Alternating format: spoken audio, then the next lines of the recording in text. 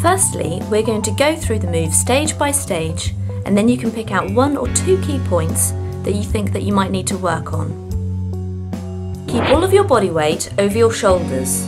This will keep you on the wave and give you speed on the drop, otherwise you could miss the wave altogether. As you're taking off or completing a previous turn, anticipate the next turn as soon as possible by making eye contact with the next section.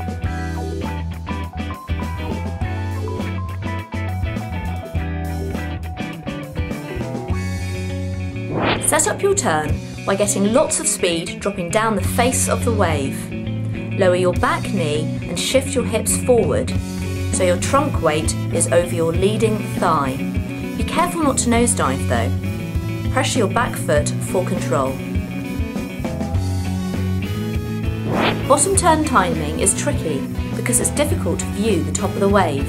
Try to commit to the bottom turn deeper so you don't end up too far onto the flat shoulder of the wave. Commit to the bottom turn earlier so that you are anticipating the section. As you get close to the trough, compress low so your bottom is close to the water and have eye contact with the steepest part of the wave. Don't look too far down the line to the shoulder and miss the best section. Bend your leading arm behind your back and rotate your hips as you put pressure on the heel of your back foot. You need to pivot just on a small part of your rail or tail. A mistake here is to drive too much of the inside rail into the wave for too long, which sends you to the shoulder. Only drive if you need to get around a section, then start to pivot to enable your board to direct up the face. Continue to pull your leading arm behind you.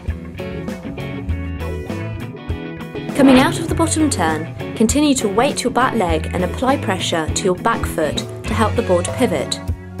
At the same time, you need to extend the trunk of your body and leading thigh upwards to lift you up the face. Breathe in to help you extend your trunk. Just before you get to the top of the wave, about three quarters up the face, rotate your leading arm all the way round, so your hand is now pointing down the wave. Make sure your shoulders, trunk and especially your hips rotate. If you start the turn too early, you'll do a lame mid-face turn, or too late, and your board will fly off the back of the wave. Another mistake is to do lots of arm movement, but the body isn't actually following. Compress your body as close to the board as possible.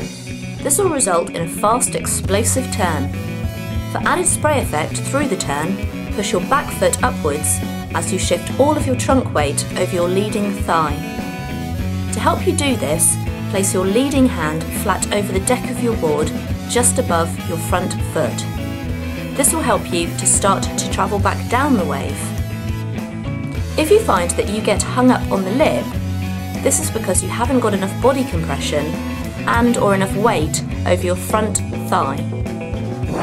In order to get control of the board and avoid nosediving, Apply pressure to your back foot and start to make eye contact with the next section to anticipate your next move. Don't try to remember all of the points, instead watch the turn again and pick out one or two key points that you personally need to work on. Then take them into your surf session. For example, if you find that you get hung up at the top of the wave, then work on body compression and putting your leading hand onto the board help weight the middle or front of the board.